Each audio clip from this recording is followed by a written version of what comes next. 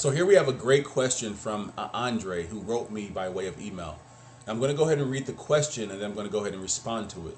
Now, his question is, or his email reads I'm not a professing Calvinist, but most of my beliefs do in fact align with it. Actually, 99% of my beliefs align with Calvinism. The only part of Calvinism I find or I have slight disagreement with is the doctrine of election.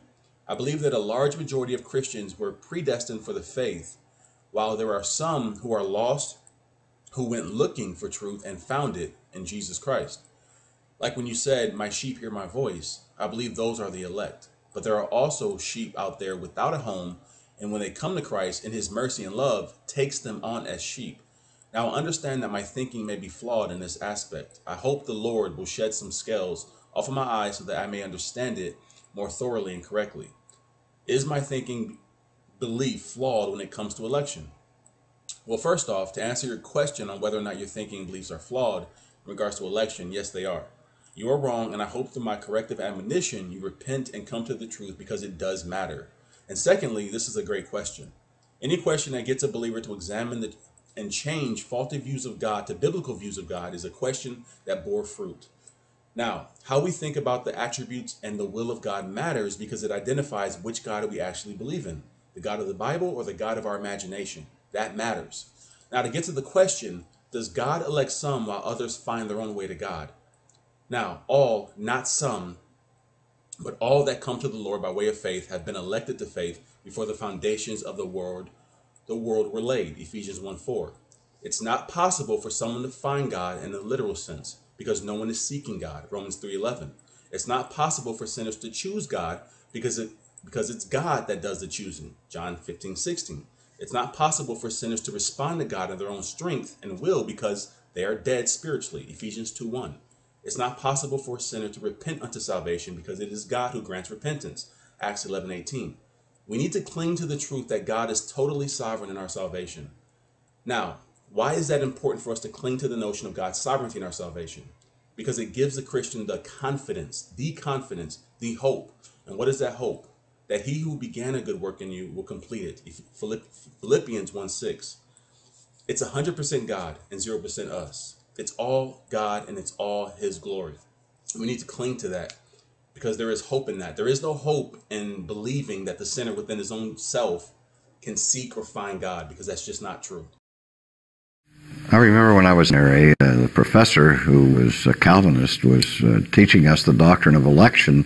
There were 18 of us in a semicircle around the room, and he said, All right, gentlemen, if it's true that God from all eternity saves his elect and nothing's going to change that, why should we be involved in evangelism? And I was so grateful because I was on the extreme right end of the semicircle and he started his interrogation on the other side.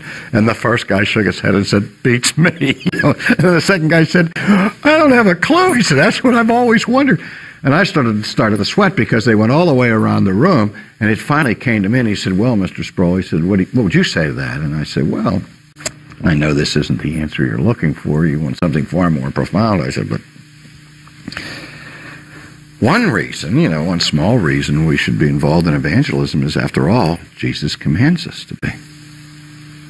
He laughed, this sarcastic laugh. he said, Yes. He said, Mrs. And what could possibly be more insignificant than that your Lord, the Savior of your soul, should command you to do something? Well, I wanted to crawl under the chair at that point. And of course, as we talked about it, he, he also pointed out that we do evangelism not simply uh, because we're commanded to, and because we believe that God is sovereign. And part of uh, affirming His sovereignty is obeying His sovereign command. But also, it's an unspeakable privilege. As Paul, after giving his uh, teaching on election in chapter 9, when he moves to chapter 10, he talks, he quotes the Old Testament, how beautiful on the mountain are the feet of those who bring good tithing, tidings.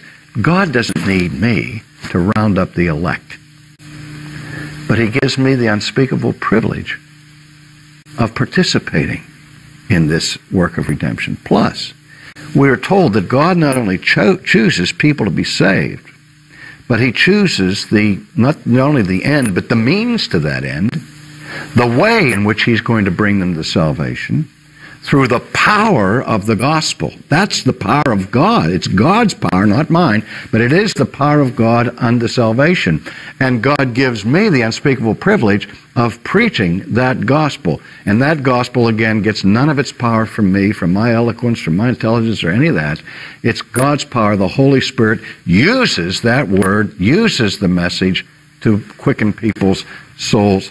So, I think it's a delight for us to be able to be engaged. And it's the same thing with prayer.